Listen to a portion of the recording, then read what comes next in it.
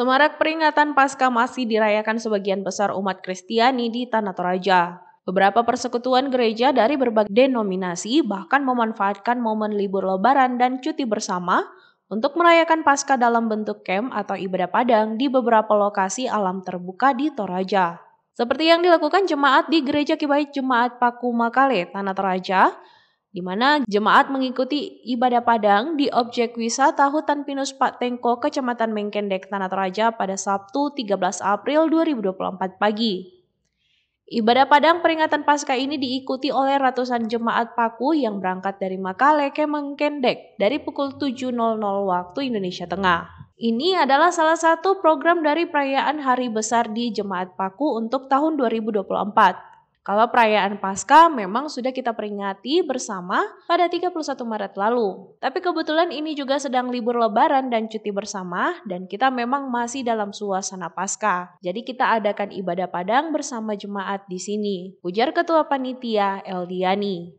Salah satu pengurus Persekutuan Kaum Muda Gereja Kibait Pakumakale, Inggi, menambahkan bahwa ibadah padang memang rutin diadakan merayakan Paskah. Jadi rangkaian acaranya selain ibadah, di mana kita refleksi tentang makna Paskah, di sini jemaat yang datang juga dengan keluarga untuk liburan di objek wisata ini, ucap Inggi. Ada juga yang ikut kegiatan Camps Lintas PIG atau Persekutuan Intragerejawi dari sekolah minggu, pemuda, kaum wanita, kaum pria, dan juga ada lansia. Jadi terasa lebih seru karena semua semangat ikut gamesnya, ungkap Inggi.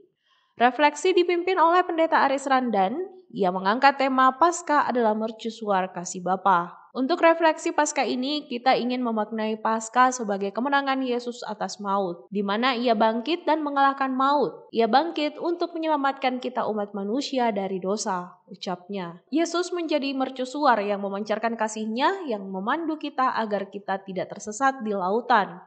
Rangkum pendeta Aris dari refleksi yang ia sampaikan.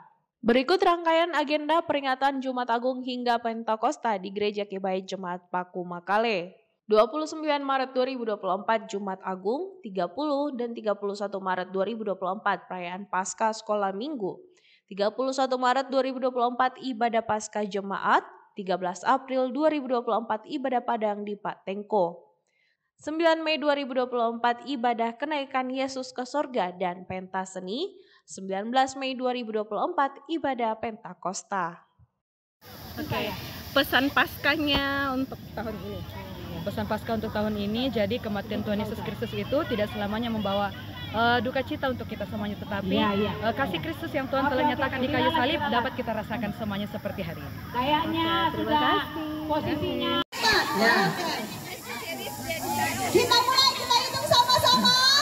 Satu, dua, Tepuk-tepuk belakangnya baru bisa.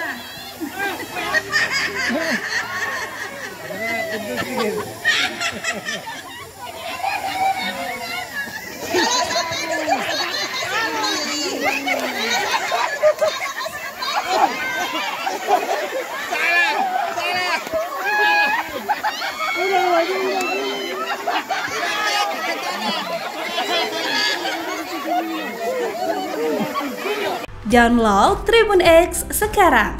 Menghadirkan lokal menjadi Indonesia.